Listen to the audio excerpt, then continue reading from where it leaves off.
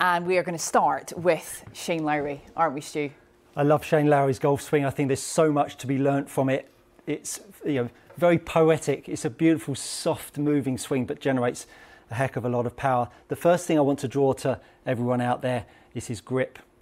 Grip is really underrated, I believe, in the world of golf.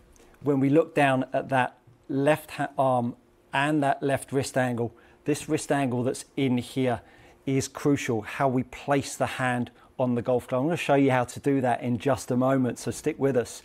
But as we start to move Shane into his backswing, I want to draw your attention to two uh, areas that we can measure with Sportsbox AI, and that's sway. That's the lateral motion that we make in a golf swing. We know that we're all try, trying to rotate, but there is some lateral shift in the golf swing, and this is measuring it essentially in inches. And so as we start to move Shane up to the top of the backswing, we see there's an early shift. We can see a, a sway of the chest at a couple of inches, 1.9, and a pelvis at 2.2. Again, we can see it with the blue and the yellow line as we go up to the top. What we see with Shane's golf swing is very much a recentering. And stay tuned because we're going to talk about Billy Horschel's golf swing because it's very different.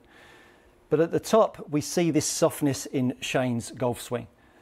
We've talked about how the straight left arm needs to be present. For a lot of golfers have worked on that, but we really see a narrow club shaft. We see a left arm that really isn't straight at all. I draw a line between the hand and the shoulder. We can definitely see a bend in that Iona. And so as Shane starts to come back, I back down to the golf ball, I want to draw two points on Shane's movement, one on his belt line and one on his head. And as we start to see Shane coming back into impact here, look at how much he keeps his upper body back and how much he drives his legs forwards. And at the point of impact, we see this difference between the upper body and the lower body of some 9.6 inches. That's a huge amount. That's him buying time to square that club face up. And I then want to draw the attention to this wrist angle that I talked about right at the get go. Mm. We've talked about flat left wrists and trying to square the face up, but actually we can see he's still got that cut that he exhibited at address. And so I really want to share the insights that Shane's giving us with golfers at home and what mm. they hmm. can learn from Shane's golf game. Please do, Stu, because it, it, looks great. We all want a bit more Shane Lowry in our golf swing, so tell us how we can get that. So, first of all, I really want to talk to you about how you're going to place the hand on the golf club. So, we're going to lift the club up in front of us, keeping the club face at 90 degrees to us. And I really want you to get the club across the tops of your fingers and almost get the back of your hand here at 90 degrees to the grip. Now pop your thumb down the side.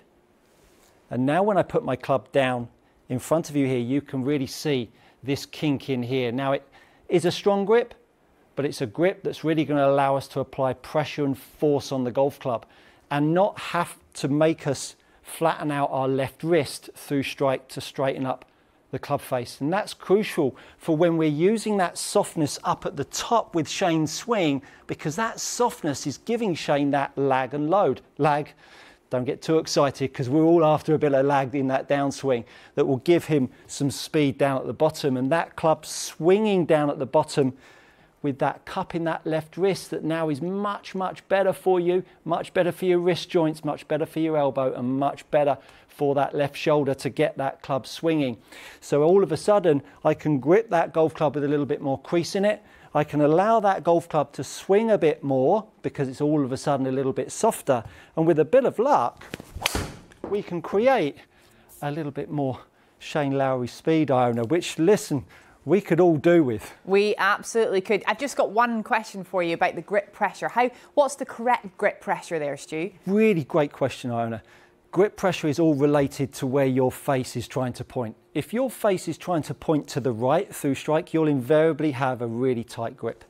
If you're trying to close the face, it's really going to be tense. The more straight your face wants to come back to the ball, the lighter your grip pressure is. So if you've got a tight grip, the chances are you've got a poor grip. Mm. So lighten the grip pressure with a better grip and you'll square that face up like a beauty. Brilliant, Stu. Awesome stuff from Stuart Cartwright in the Audi Performance Zone.